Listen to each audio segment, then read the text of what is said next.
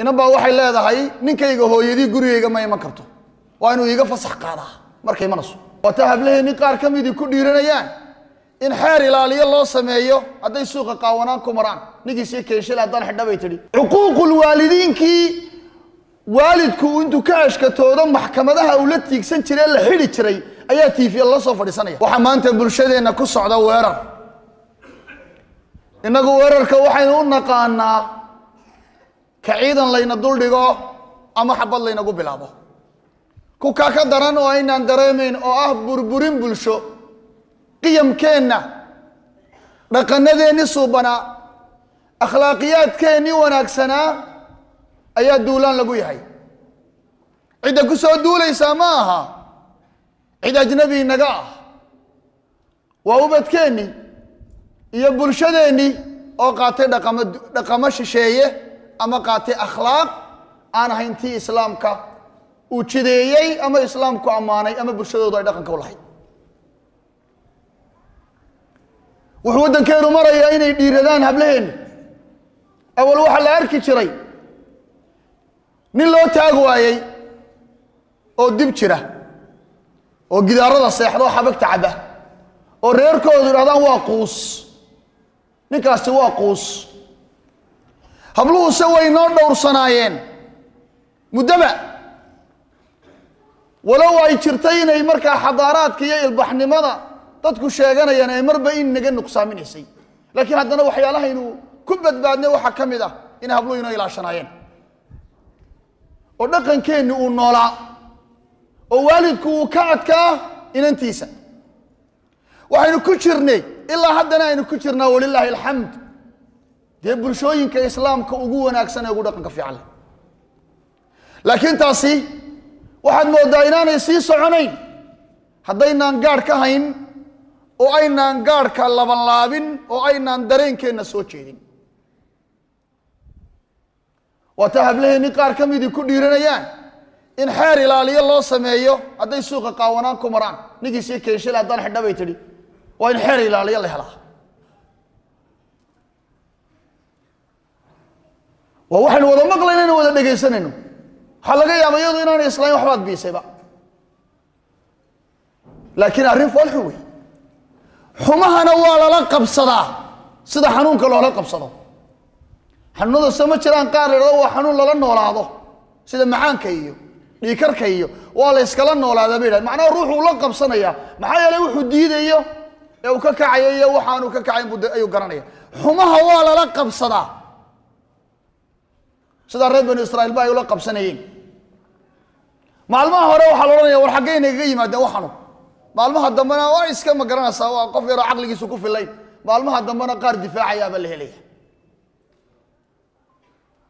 taa inagoo la yaaban oo arrinkaasi uu jiro baa dhowaan waxaa t v-ga universal dhada u qabtay dood. Inan waxay leedahay ninkayga hooyadii gurigayga ma iman karto. Waa inuu iiga fasax qaadaa markay imanayso cuquuqulwaalidiinkii waalidku intuu ka ashkatoodo maxkamadaha uu la tiigsan jiray la xidhi jiray ayaa tiifiya la soo fadhiisanaya. Hadda waa xuquuqulwaalidiinkii oo ruuxa oo hadlaya. Ninka waalidkii inuu isaga leeyahay ayaanay garanayn. Nabiga calayh salaatu wasalaam nin baa u yimid reer miyi. Wuxuu idhi carruur baan leeyahy gabadhna waan leeyahy abbahayna wuxuu rabaa xoolahayga siduu doono inuu ka yeelo nabigu muxuu uga jawaabay anta wamaaluka liabiik baa nabigu uhi alayh salaatu wasalaam adigii xoolahaagaba aabbahaa baa le baa nabigu uri sal lay slam ninkan ay leedahay waa ninkaygay ku dhadhabayso. Inay hooyadii leedahay ma oga. Nin gebigiisaba la leeyahay ayay ku leedahay idan hay hayga hayga fasax qaato waxay ahlucilmigu tilmaameen waalidku inuu ku tasarufi karo maalka ilmihiisa inuu ku tasarufi karo bal culammadu waxay tilmaameen hadduu ilmuhu addoon leeyahay ama addoon waalidkii isagoon kala tashan inuu xorayn karo. Maalkiisa inuu sadaqad ka bixin karo isagoon weydiin maantana waxay marayaan ubadkeenni oo magaaladeen dhexdeedii laga leeyahay inagoo daawanayna ninka hooyadii iima iman karto waayo waa shar lugaynaya oo furitaanka islaamuhu sabab u yihiin markaasaa rag ragka ka mid ihi ay waxaa taageerayaan leeyihiin waa runteed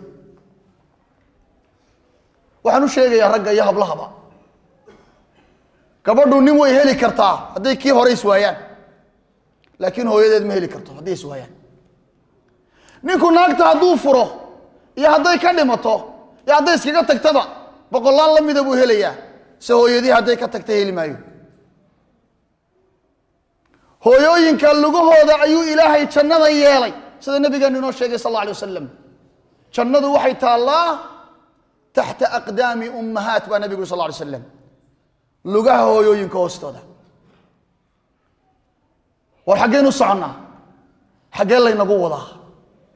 War dimuqraadiyaddi iyo doorashooyinkii ma waxaanay inoo dhaleen. Xorriyatilqowlkii ma waxaan u dhalay.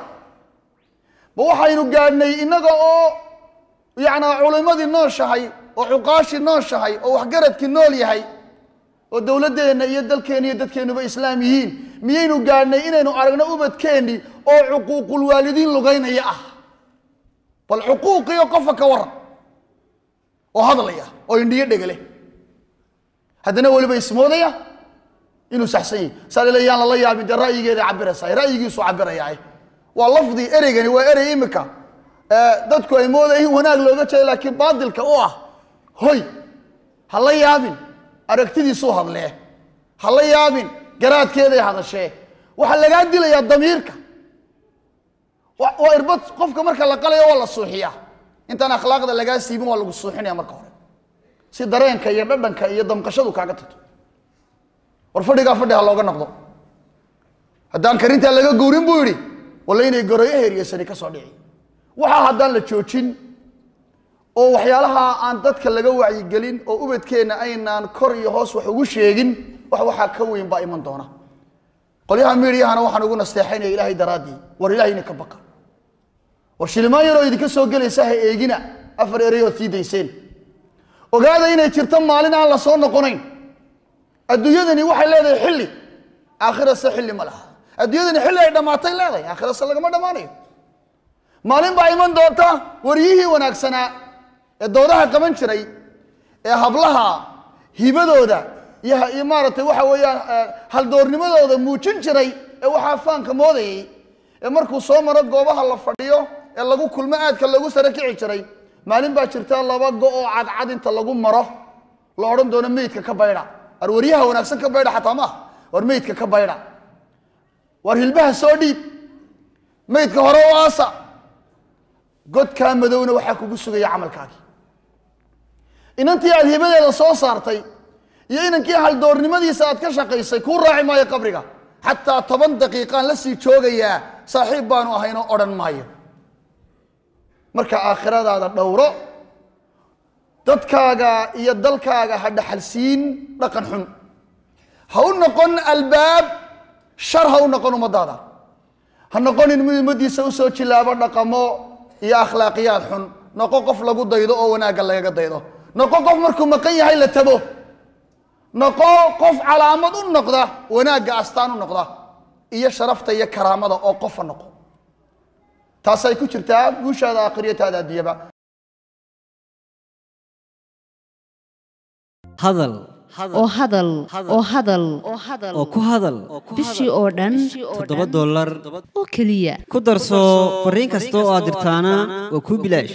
haddaba si aad ugu shubato adeega kaafiye fadlan garaac xidig siddeed eber siddeed afargees ama xidig laba eber laba afargees isticmaal shabakadda ugu ballaadhan geeyiga somalilan